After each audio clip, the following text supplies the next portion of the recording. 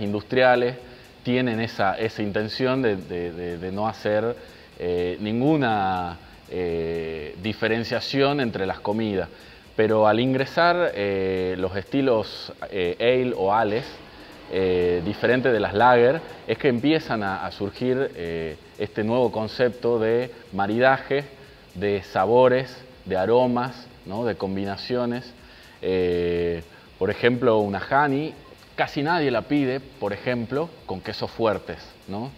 Ese fondo dulce siempre es combinado a veces con papas o con, o con, o con cosas fritas, cuando en realidad una de las pocas combinaciones que, que, me parecen asombrosas en la boca, ¿no? lo que uno siente, es un queso roquefort, un queso azul, un queso fuerte, ¿no? en estas tablitas de, o con salames, un salame este, medio, picantón con una honey, por ejemplo. Es un maridaje espectacular. Y un poco es lo que se busca, ¿no? A veces con, las cervezas y, la, y las combinaciones, no decir, ¿no? O sea, me, como unas papas bravas, unas papas picantes y me tomo una golden. Sí, seguramente dos o tres golden para, bajar el picor. Pero, por ejemplo, unas papas picantes o, o unas hamburguesas muy condimentadas van muy bien con una IPA, por ejemplo, ¿no?